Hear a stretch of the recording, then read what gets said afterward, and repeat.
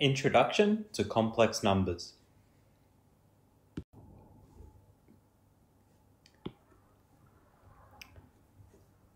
Let's have a look at this quadratic equation.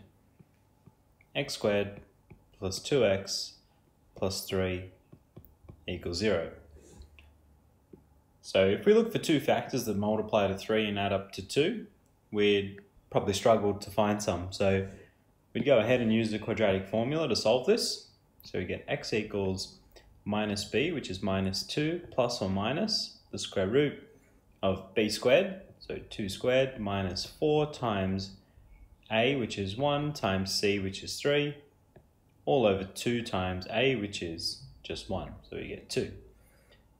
Simplifying this, we'll get minus 2 plus or minus the square root of 4 minus 12 over 2, and we get x equals minus 2 plus or minus the square root of minus 8 all over 2.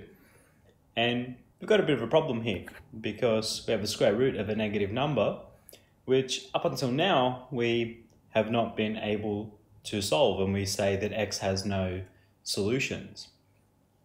But now we're going to define something where we actually can get solutions. And we're going to define that the square root of negative 1 equals i, where i is some imaginary number. Now, the term imaginary number is, might not be the best because we're going to define it as a number, but that's what, that's what we're going to go with because that's what it's called. And the imaginary number i is going to be the square root of minus 1. And if we were to square both sides here, we could square both sides and we'd get the square root and the square cancelling out. So minus i equals i squared. And this is going to be uh, helpful to us probably a bit later.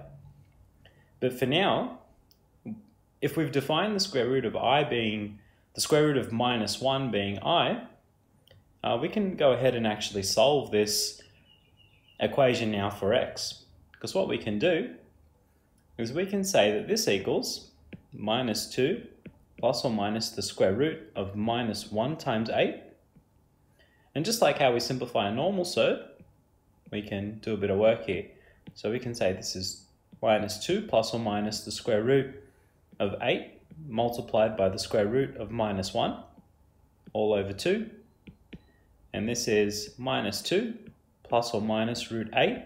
Now, we've already defined that the square root of minus 1 is i, so we can go ahead and write that in all over 2. Simplify this a little bit, saying we get minus 2 plus or minus 2 root 2 i all over 2. And dividing everything by 2, we get minus 1 plus or minus root 2 times i for our solutions for x. And these are the two solutions to this quadratic equation. Now,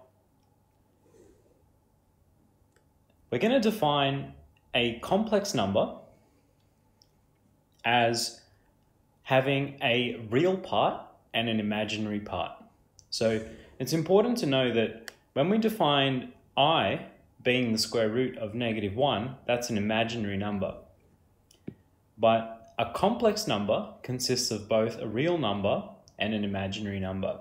So for example, if we have a complex number z, this will consist of a real part and an imaginary part. And we can write it like this, where x is the real part and the yi is the imaginary part.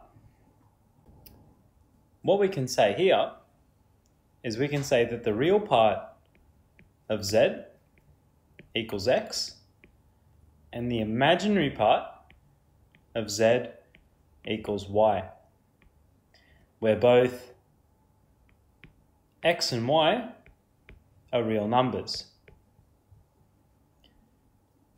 So it's important to note here, when we talk about the imaginary part of z, the imaginary part is equal to y, not yi.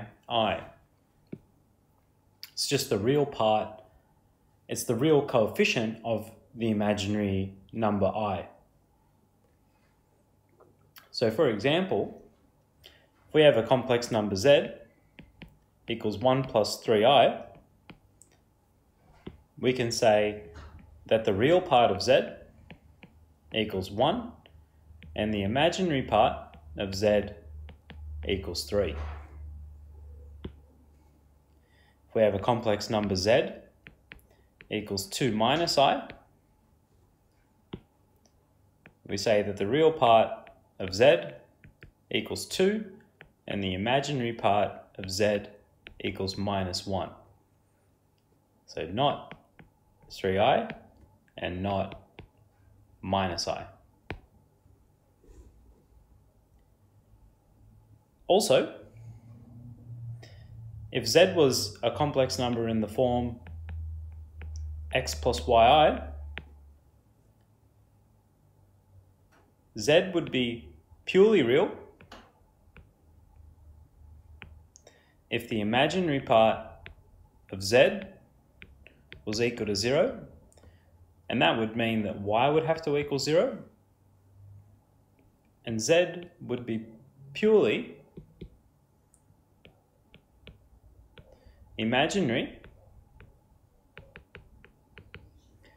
if the real part of z equals 0, and in this case x would have to equal 0.